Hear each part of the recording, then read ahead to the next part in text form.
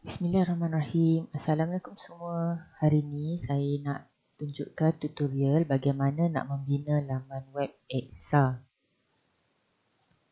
Anda yang berkhidmat sebagai kaki tangan kerajaan mesti biasa dengar perkataan EXA. EXA merupakan persijilan yang mirip kepada 5S. Salah satu keperluan EXA adalah mewujudkan sudut EXA dan kaedah yang paling mudah kita wujudkan sudut eksa adalah dengan membina laman.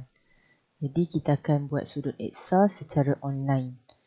Kelebihan membina sudut eksa secara online ini adalah pertama sekali ia boleh diakses oleh ramai orang internal ataupun eksternal.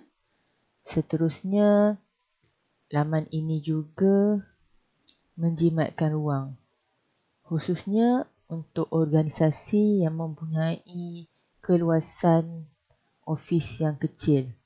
Jadi dengan membina laman web EXA uh, ataupun dikenali sebagai sudut EXA secara online ini, maka isu space boleh ditangani. Saya akan menunjukkan cara mudah untuk membina laman web EXA menggunakan WordPress. Antara ciri laman web yang akan dibina adalah akan mengandungi elemen seperti polisi EXA. Seterusnya, carta organisasi dan juga aktiviti yang dijalankan dan akhir sekali adalah gancat. Ini antara elemen utama yang perlu dimasukkan dalam sudut eksa. Uh, yang lain-lain tu tuan-puan boleh tambahlah mengikut organisasi masing-masing. Yang saya nak tunjukkan hari ini apa yang akan diterangkan bagaimana cara membina heading. Seterusnya uh, modal pop-up. Okay, kita akan ada counter. Okay, kita akan membina tab untuk paparan carta organisasi. Seterusnya membina post. Saya cuma tunjukkan tiga post sahaja. Uh, ada counter. Counter countdown. Okay, countdown. Ada address dan juga map. Seterusnya, bagaimana untuk kita masukkan gancat. Dan akhir sekali, bagaimana untuk meletakkan uh, galeri. Jadi saya akan terangkan satu persatu daripada page pertama hingga page yang ketiga. Page pertama utama, cartagan, galeri aktiviti. Jadi kita akan mulakan dengan membina laman utama. Kita akan bina front page. Untuk membina laman ESA, pastikan anda telah install WordPress ke dalam localhost. Seterusnya kita akan upload plugin. Kita akan gunakan plugin Elementor sebagai uh, web page builder. Dan kita akan gunakan juga Ultimate Elementor add-on sebagai tambahan untuk plugin Elementor. Jadi untuk kita add plugin, pergi kepada plugin. Hmm. Add new.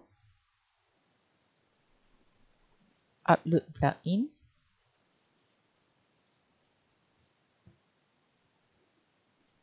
Saya akan gunakan plugin yang ada dalam komputer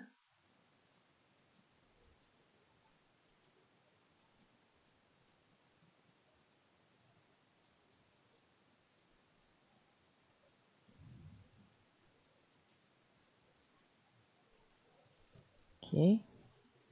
Ini adalah basic Elementor.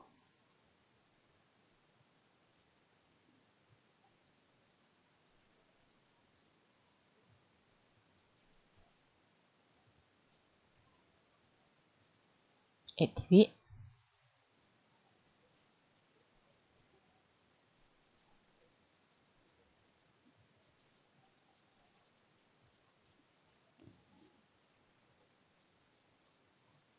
Seterusnya plugin Elementor Pro.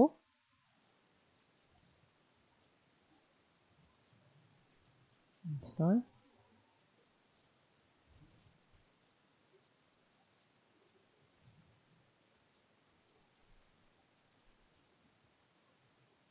activate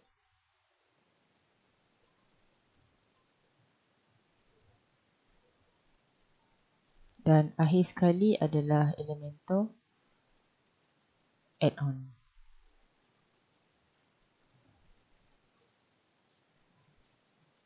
Ultimate add-on.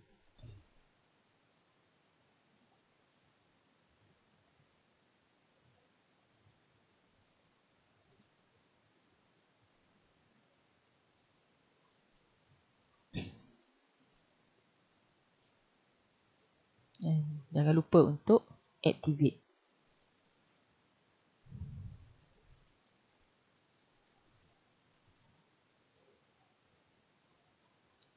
Seterusnya kita akan create page yang pertama. Add new. Saya namakan sebagai page utama. Kemudian kita akan edit dalam Elementor.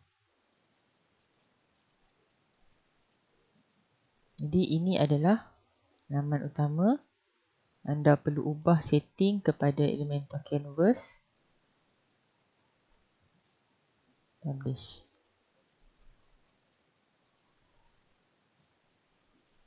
F penduk bila kosong. Okay.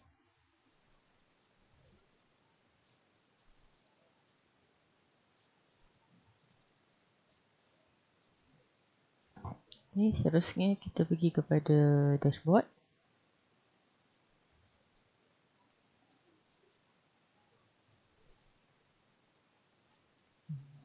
Saya akan create page yang kedua.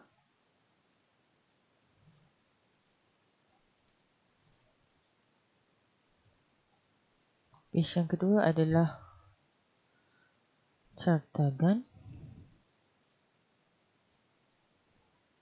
Publish. Dan page yang ketiga adalah gallery activity.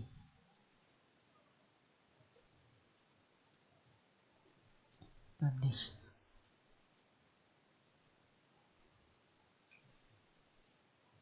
Seterusnya kita akan membina post.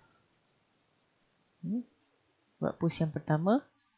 Jadi post ni merupakan aktiviti yang kita nak simpan di dalam laman. Jadi saya gunakan nama aktiviti. Aktiviti 01.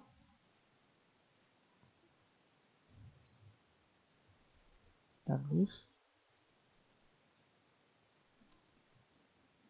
Kita buat aktiviti yang kedua. Aktiviti ke Ah, sorry. Aktiviti 2. Dan akhir sekali aktiviti yang ketiga.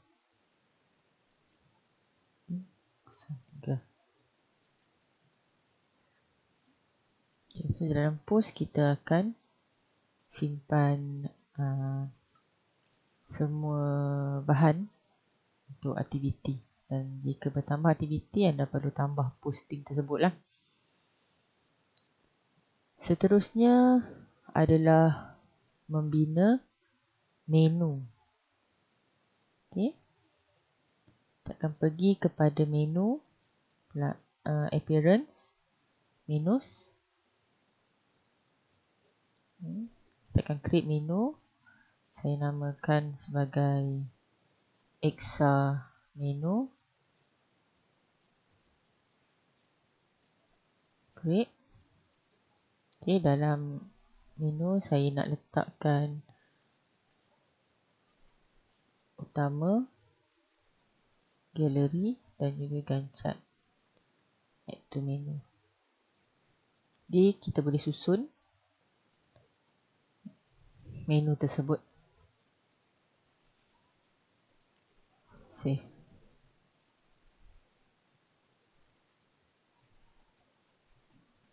Okay. Setelah kita membina menu, aktiviti seterusnya adalah untuk kita upload media. Jadi pergi pada media dan kita akan upload media. Boleh pilihlah dekat mana lokasi.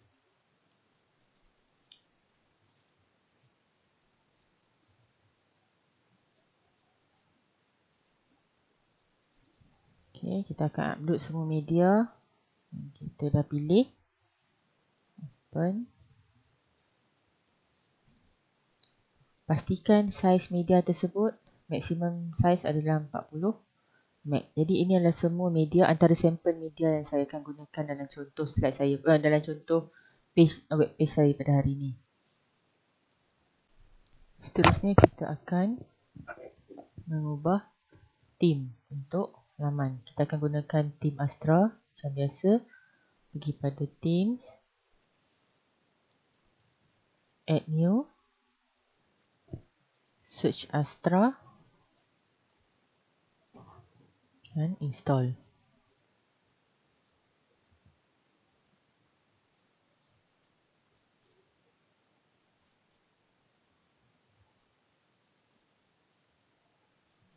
Okay, seterusnya kita activate. Jadi ini adalah tim Astra yang akan kita gunakan. Seterusnya kita akan pergi kepada page untuk kita design uh, laman web kita. Uh, tapi sebelum tu kita ubah dulu setting. Setting untuk reading. Okay, setkan kepada static page. Home page utama. Seterusnya pemaling. Uh, pilih post name. Okay, kemudian save. Selesai kita pergi semula kepada page. Kemudian ambil edit with Elementor.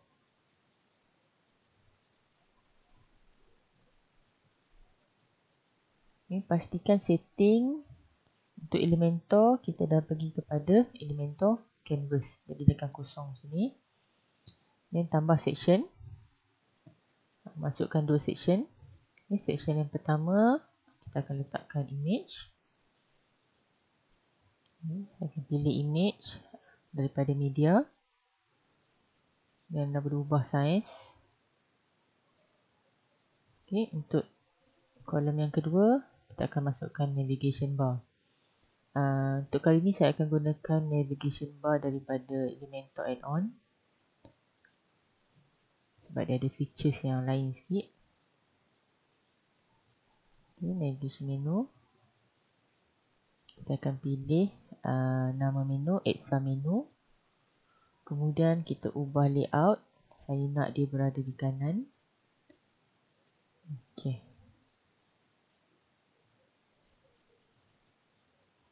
Okey, jadi dah selesai, boleh update.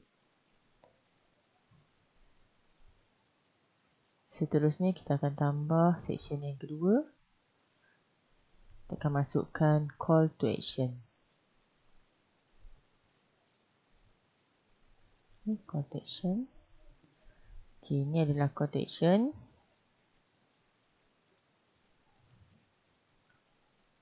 Ok kita akan ubah uh, image. Tengah ni kita akan gunakan image. Masukkan image saya gunakan image ni. Insert media. Size untuk image uh, kita boleh besarkan. Pergi pada style image height. Okey, boleh ubah saiz kalau nak besar. Okey. Kemudian kita boleh ubah heading daripada content. Okey, content. Ah, content ni kita boleh ubah lah yang kita nak tulis. Untuk button ni saya tak nak tak nak gunakan button jadi kita boleh buang. Dari teks uh, pada title anda boleh ubah pada description pun anda boleh ubah Okey, saya masukkan teks seperti yang dipaparkan. Jadi ini adalah contoh uh, yang kita dah masukkan. Okey. Uh, kita ada logo. Kita ada navigation bar dan kita ada call to action. Okey, seterusnya saya akan tunjukkan bagaimana untuk kita buat pop-up. Okey, pop-up untuk polisi EXA. Okey, ini adalah contoh model pop-up. Jadi caranya adalah kita akan tambah section yang baru. Okey, saya gunakan tiga kolom. Seterusnya kita akan ambil Okey. Dekat bawah ni Okey, model pop up. Klik uh, drag and drop here. Kemudian ini adalah title. Okey, ubah title kepada polisi EXA. Okay, content type anda boleh pilih lah nak letak gambar, content, video dan sebagainya. Saya akan gunakan foto. Ini buat polisi Excel saya dalam format image. Kemudian choose image. Kita pilih gambar. Insert media. Seterusnya modal pop-up. Okay, anda boleh ubah lah size dia kalau nak ubah. Hmm close button untuk kita keluar. Display setting. Okay. untuk display setting uh, kita boleh pilih lah display model on. Boleh pilih nak image nak icon atau sebagainya. Saya gunakan button. Okay, button. Hal dia kita akan tulis Okey. Papar. Polisi. Exa. Okey. Dan alignment dia kita nak letak center. Kemudian nak masukkan icon. Boleh pilih icon. Saya gunakan icon check. Okay, check. Okay. Okey. Dia dah selesai boleh update. Ini boleh test kat sini, klik dia akan paparkan polisi EXA. Okey. Next adalah bagaimana cara untuk kita masukkan image counter. Ini adalah image counter. Saya akan tunjukkan caranya adalah di pada section kita akan masukkan section kita pecahkan kepada tiga section okay. akan gunakan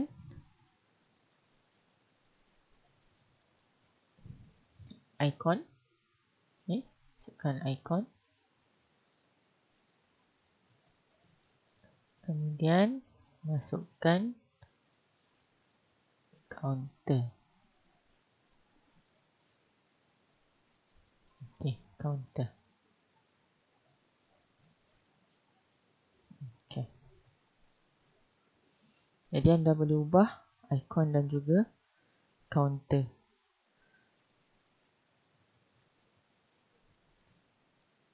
Okey, contoh saya gunakan smiley uh, nombor 130 dan juga staff. Jadi untuk kita ubah, ubah icon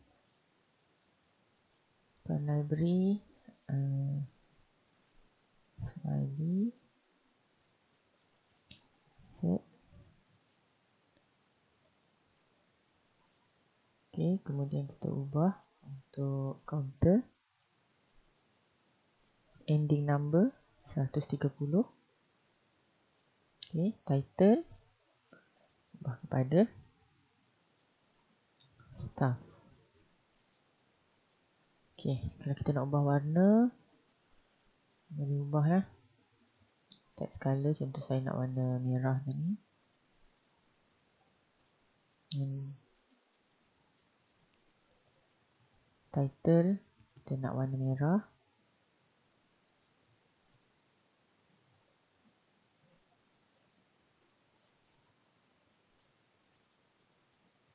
Oh, sorry. Okay. Itu warna merah. Kemudian smiley ni kalau kita nak ubah. Oh, okay, smiley ni kalau kita nak ubah warna. Primary color. Kita ubah pada warna merah. Okay. Okay. Jadi, kita boleh duplicate section. Okay. And then duplicate section. Jadi section ni kita boleh delete. Okay, kita nak pakai tiga section saja. Okey, untuk section yang kedua zone dan juga jawatan kuasa. Okey, ini kita ubah uh, ikon.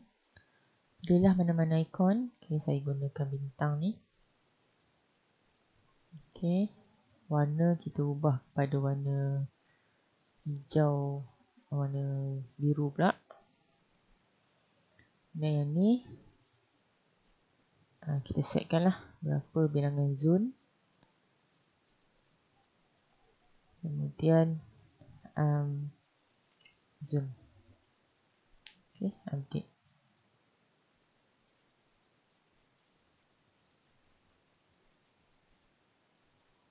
Okay, kita ubah style untuk zone.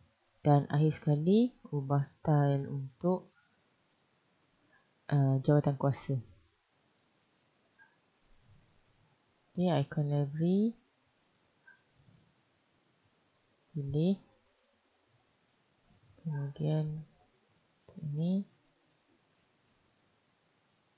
Set kepada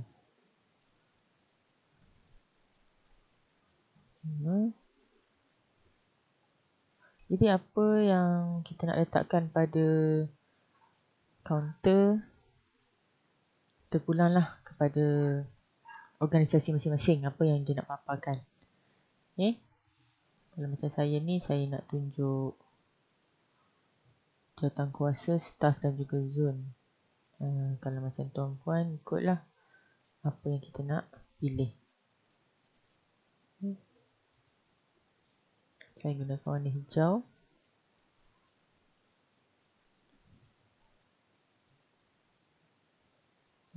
Okey.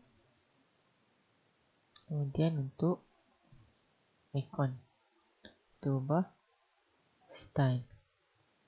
Okey, jadi dah siap untuk icon. Mudah kan? Guna WordPress ni memang senang. Nak design apa-apa memang senang. Kalau yang tak biasa, yang tak tahu programming pun boleh buat. Okay. Sebab dia memang untuk beginner. Okay. So dah selesai untuk kita tambah counter. Okay, seterusnya kita akan tambah tab. Okay, saya cuma tunjukkan dua contoh lah. Tab untuk uh, jawatan kuasa induk uh, untuk jawatan kuasa si, jawatan kuasa induk dan jawatan kuasa audit. Okay, kita akan gunakan tab di sini. Okay, cara dia adalah uh, pergi semula kepada laman kita. Add section. Jadi untuk tab, kita akan gunakan tab element tab. Okay, klik di sini drag and drop. Ok untuk tab yang pertama. Klik pada tab. Ok ada tab description. Boleh tulislah tentang kuasa induk. Ok kemudian text sekarang anda nak letak text tapi saya cuma nak letakkan gambar. Ok Okay, saya delete text. Kita masukkan gambar. Okay, pergi pada media. Saya nak masukkan gambar yang pertama. Okay.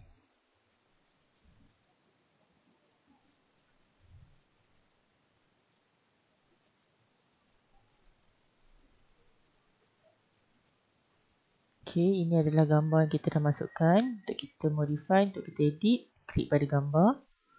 Ambil simbol pensel tu, edit. Kita nak ubah setting alignment. Jadi, saya nak setkan kepada center. Kemudian size dia saya nak buat full size. Kemudian set kepada update. Okay. Jadi ini untuk tab yang pertama. kita boleh klik semula. Kemudian kita buat pula tab yang kedua. Okay, selamat.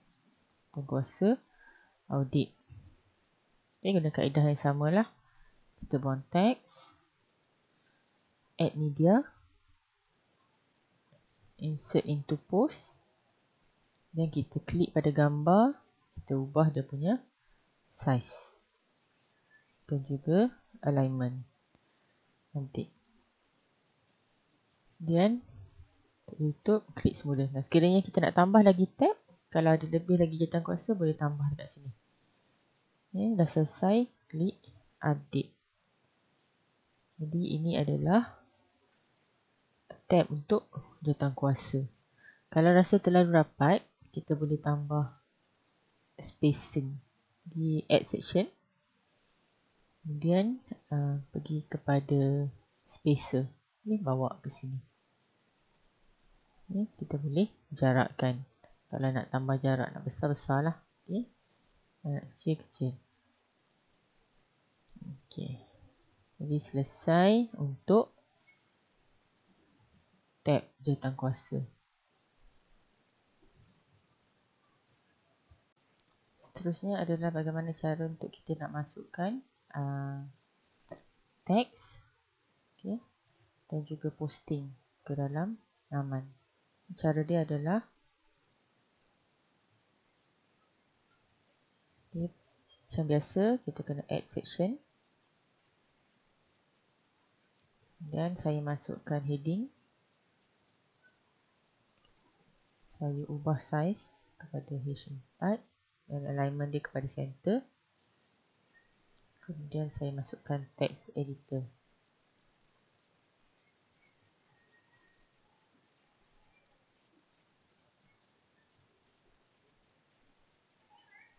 Text editor setkan alignment dia kepada center kemudian anda boleh ubahlah content dia seperti ayat apa-apa yang tuan puan nak tulis. Ok contoh ni ayat yang kita nak tulis. Then update.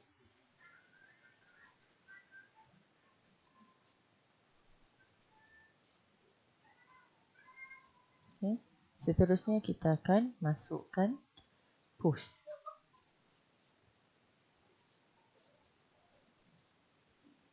Oh, sini. Jadi memandangkan posting kita tak ada apa-apa konten, dia akan keluar macam ni lah. Nanti bila dah ada konten, dia akan tunjukkan. Macam yang contoh yang saya dah tunjukkan sebelum ni. Okay, konten dia akan jadi macam ni. Okay, sebelum tu kita ubah dulu dia punya pattern. Untuk post klik pada post dan skin ambil cut column saya set sebagai 3 ok kemudian kita tak nak komen just letakkan tarik okay, boleh buang. Ok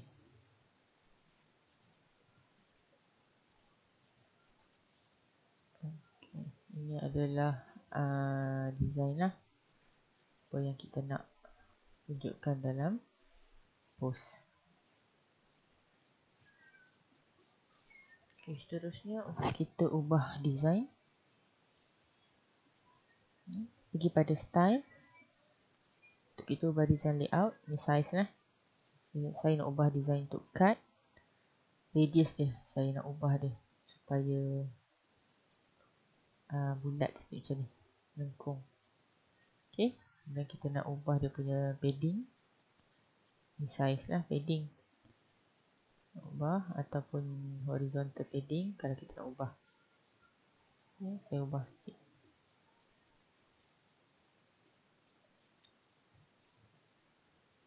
Ok dah selesai? Boleh? Off. Boleh update. Ok seterusnya kita akan tambah um, section yang terakhir sekali. Ada tiga segmen. Kita ada counter sorry kita ada countdown. Text editor dan juga ada map. Jadi cara dia tambah tiga kolom. Okay, yang pertama kita masukkan heading. Bawa ke sini. Size tag tu bar lah size dia kecil sikit kemudian masukkan countdown. Ok countdown. Bawa ke sini. Bawa ke bawah ni eh. Ok untuk countdown boleh pilih lah nak display apa. Saya cuma nak display hari. Jadi pada bahagian hours ni kita kena off. Kemudian due date kita masukkan. Jadi tarikh ni dia akan count down daripada tarikh semasa hingga due date. Okay, nak view, pilihlah nak block, inline. Okay, ini kita boleh bagi nama. Hmm, contohnya saya nak ubah ke arah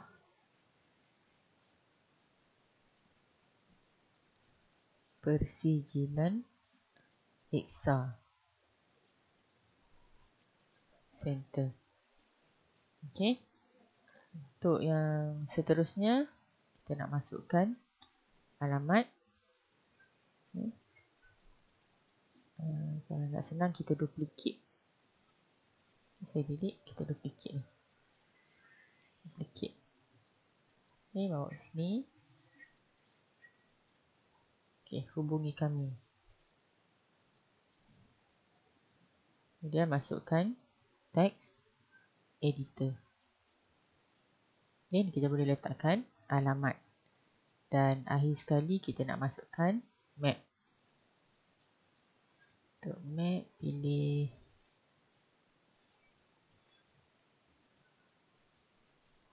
cari map ya.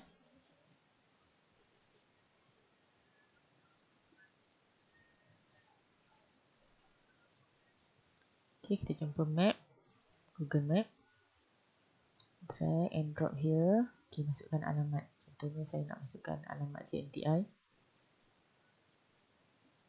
ok ini adalah alamat JNTI dia akan zoom. Kita nak zoom in ataupun zoom out. Kita lah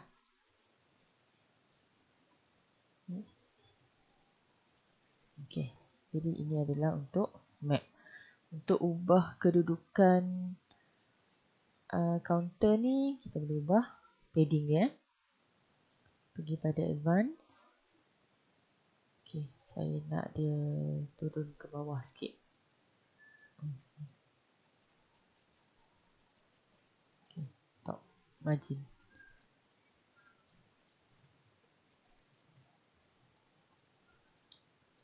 Ok kita nak ubah ni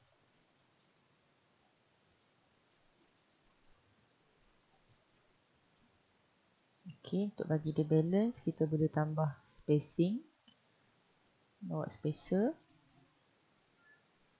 Okey, dan boleh adjust size spacer. Okey.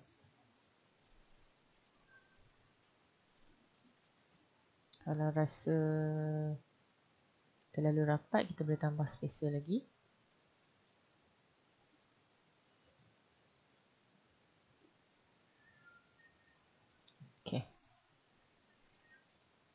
Jadi dah selesai untuk homepage.